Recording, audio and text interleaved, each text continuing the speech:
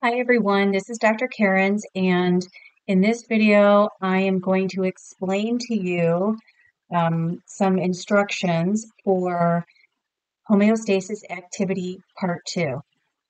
So first of all I'm going to go into our assignments and find the assignment. Homeostasis assignment part 2.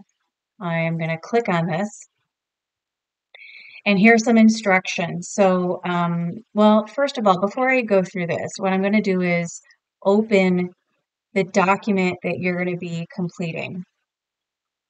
So when you do that, this should look familiar to you. Look at this assignment right here. You've seen this already. This is basically, it is the same assignment as what you completed in homeostasis part one. So part one, you completed on your own.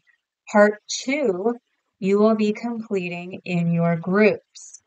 So again, you're going to be downloading this document and answering the questions and saving it accordingly, which I'll explain in a minute, and uploading it again. So you're basically doing this assignment again, but you're doing it in a group.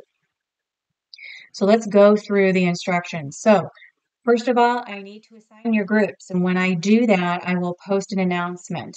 I have a um, video, you can click on the link here uh, for how to find your group if you're not sure how to do that. So go and check out that video. But once the group has been assigned and you find your group, your first task as a group is to come up with a group communication plan.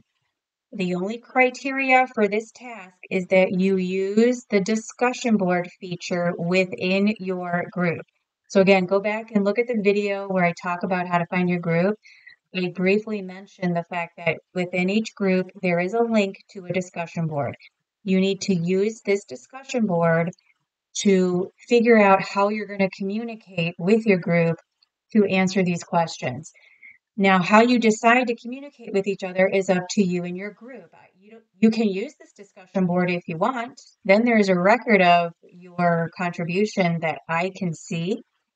But you don't have to do that. You don't have to use the discussion board to do the assignment. You have to use the discussion board to come up with your communication plan. And what I'm looking for there is I need to see that everyone in your group has contributed to that discussion and everyone has agreed to the plan as to how you're going to communicate for this assignment. There is a deadline for this communication plan. It's Monday, September 16th. And I'm going to go in on the 17th and look and see what everyone's communication plan is. And I'm going to look and see did everyone in the group contribute to this discussion and did everyone agree? Because if you did not contribute anything to this discussion, you are out of this assignment. You have lost any right to complete this assignment. It is not fair to the rest of your group members if they have to continually try to hunt you down and get you to participate. So if you do if you do not participate in the group communication plan, you are going to get a zero for homeostasis assignment part two, and you're going to get a zero for teamwork evaluation that's part of this assignment as well because you didn't contribute to this initial task. Okay, so once your communication plan is um, established, you're going to work in your group to answer those questions in that document. In this document, you come back here, same questions you saw in part one, you're going to answer them again in part two. But this time, because you have group members, and you each will have feedback that I gave you on part one. The idea is to use the feedback I gave you to contribute to revised answers to these questions for your group submission. So if you did part one, then you have a way to contribute to part two.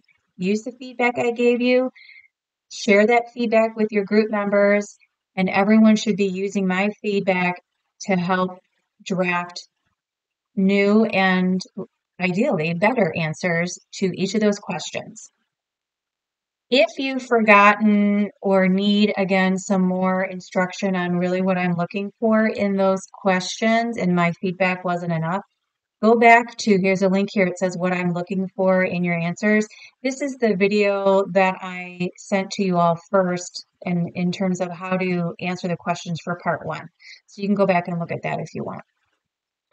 Okay, so once you've come up with the answers to your question, um, that document that is attached here, you're going to download it, you're going to put your answers on that document just like you did for part one, and now you're going to save it with everybody's last name in the document title. So your document title should be part two underscore followed by everybody's last name, everybody in the group. And make sure you follow these acceptable file formats. So the answers to these questions are due on 926. You have um, 10 days from when you come up with your communication plan or when that plan is due. You have 10 days to complete this assignment, which honestly should be more than enough time since you, if you've all done part one, you're really just revising your answers to part one. Along with this, you need to complete the teamwork evaluation form, and that's how you're rating yourself and your group members in terms of how well you worked in a group to complete this assignment. This is also due on 926. This is a separate assignment. You don't upload it here. It is a separate assignment, and there is a video down here to direct you on how to complete that evaluation form. So if you've got any questions about this activity, please let me know.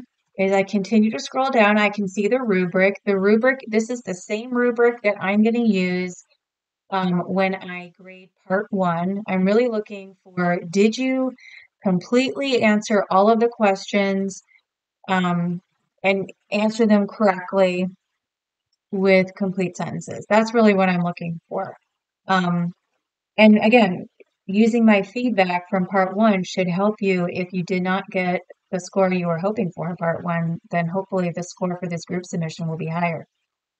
Um, yeah, so if you've got any questions, please let me know.